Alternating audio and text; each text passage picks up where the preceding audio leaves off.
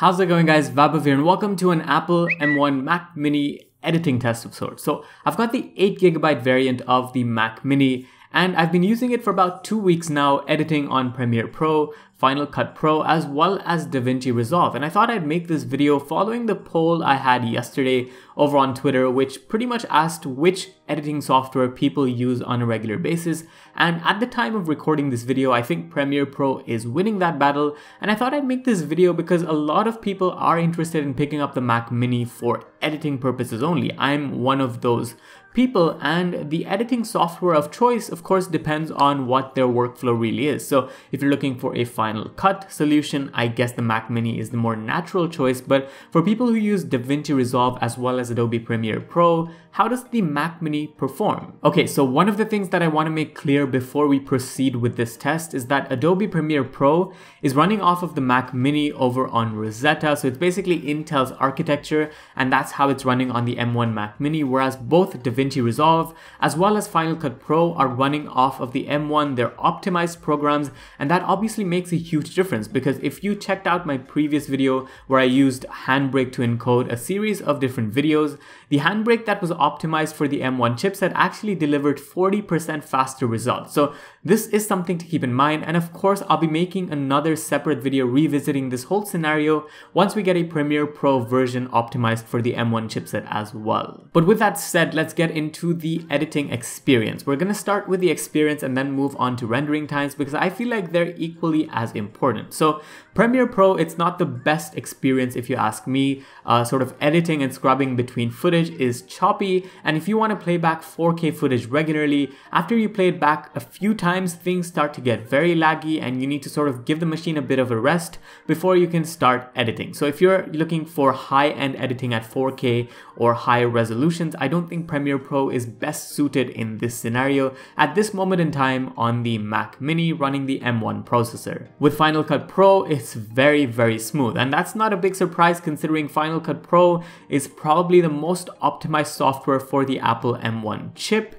And likewise DaVinci Resolve is similar. So it's also got a beta running off of the M1 chipset and scrubbing between footage whether that's 4K, 8K and playing it back and sort of previewing it all of that is very very smooth. So I think both Final Cut Pro as well as DaVinci Resolve are very smooth during the editing process whereas Premiere Pro is a bit choppy, a bit laggy and that is something you should keep in mind. So if you were paying attention in the previous few clips you'd have seen the exact timeline that we're going to render in this video using DaVinci Resolve, Premiere Pro as well as Final Cut Pro. It's a 5 minute 53 second file uh, made up of 4K and 8K footage from the Galaxy S20 Ultra of Samsung and I thought I'd make this a bit more complicated so some of the clips have been sped up, some of them have been slowed down, some of them have been overlaid one on top of each other and I think this sort of complexity gives it more of a realistic feel if you ask me and I've plopped in a music track in the background as well and that is what we're gonna render. So the final file that we're gonna render in it's gonna be the exact same settings 4k 30 fps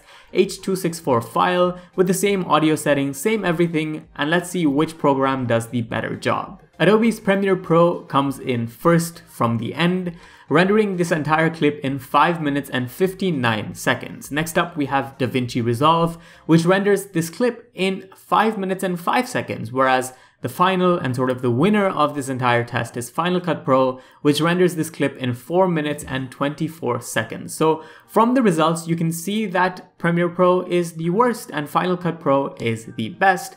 These are results that are expected. I think Final Cut Pro is supposed to be the most optimized for the M1 chip and likewise you get the best performance when it comes to rendering as well as video editing. DaVinci Resolve is sort of a middle ground because it gives you a good video editing experience and it's a fast enough export process. I think it's only about 30 seconds more than Final Cut Pro there and thereabouts but with Premiere Pro you not only get a very very poor editing experience when you extensively edit 4K as well as 8K files but the rendering time is also huge. And this was another poll I made over on Twitter, which one people preferred. Was it rendering times or was it editing experience?